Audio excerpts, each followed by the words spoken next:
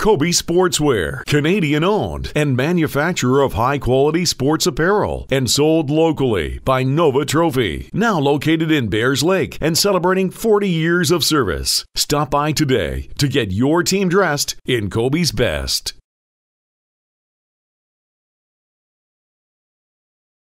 John Moore alongside the Director of Scouting, NHL Central Scouting, Dan Marr. Dan, good to see you back in Halifax. We got a dandy here this afternoon, a lot of a lot of uh, draft eligible players, uh, but good to see you back here. You enjoy coming to Halifax?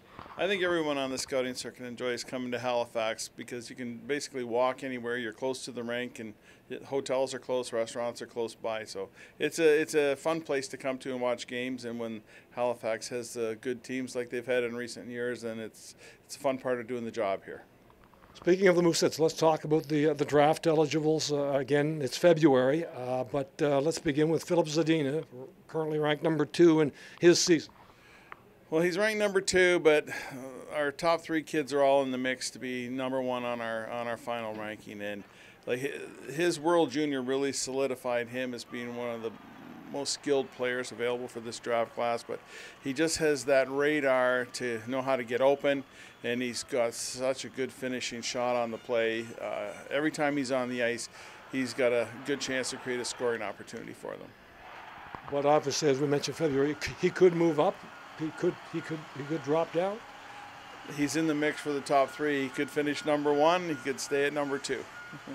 Let's talk about the defenseman Jared McIsaac. Uh, again, uh, projected first rounder, uh, I believe 12 at the last ranking. Yeah, we, we've got him in the top half of the first round. I don't think he's going to move anywhere. He's, uh, he's one of those very dependable, very reliable guys. I, I think he has a, a really like long fuse to where you don't really see him – lose it. But one of the things we've been encouraged by seeing in his game in the second half here is that he's playing with a lot more authority, being a lot more assertive, especially when he's defending. We know he has a smart, effective game at the offensive blue line. So he's a pretty complete package for NHL clubs. Benoit Olivier Groulx, a forward, uh, ranked a little later in the first round. But he's he is, and he, uh, again, he, he, I don't see him leaving the first round, and I don't see him getting past the first round with NHL clubs. Uh, when I talk to coaches on other teams, when you talk to the Mooseheads coaches, and just with other scouts, he, he's the type of player that can play basically anywhere in your lineup. Uh, at the NHL level, he's likely going to be, you know, a second, third line center. But what I think will happen is that the higher skilled players in the game are going to want him on his line. And so I think with any coach, with any team that he's on, the respect, just the way he plays the game, does all the little details well, he'll gradually move his way up the lineup no matter where they start him. Dan, the last time you were in town, we talked about a defenseman with the Acadie Bathurst Titan, Noah Dobson, and you said at the time he's trending up. He is now among the top 10.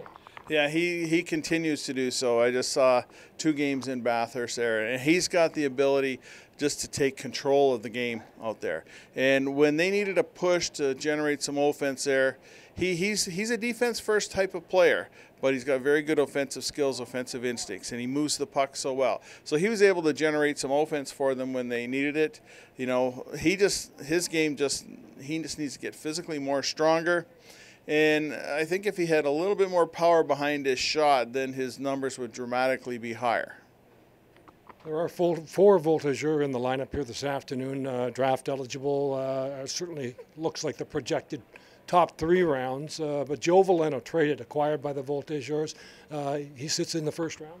Yeah, and, and Joe's one of these players there. He's got exceptional speed and quickness, and he sees the ice real quick. So he's often making plays that his teammates aren't even ready for yet. They they haven't caught up. They haven't seen what he sees. So he's got uh, he he sets up a lot of guys. There's not always the finishing result there, and you know when he gets his chances, he's got good offensive skills himself.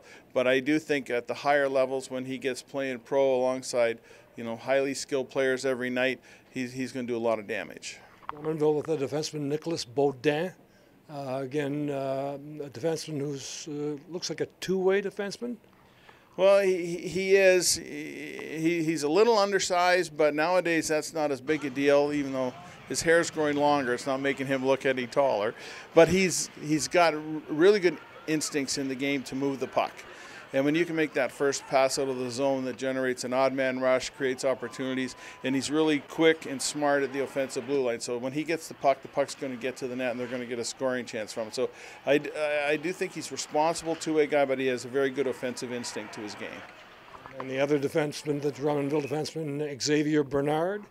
Bernard has the ability to to play in all situations as well. I don't know that his offensive upside is going to get uh, to the point where he puts a lot of numbers on the board, but he makes really smart plays and he gets the puck to the players that can make the plays.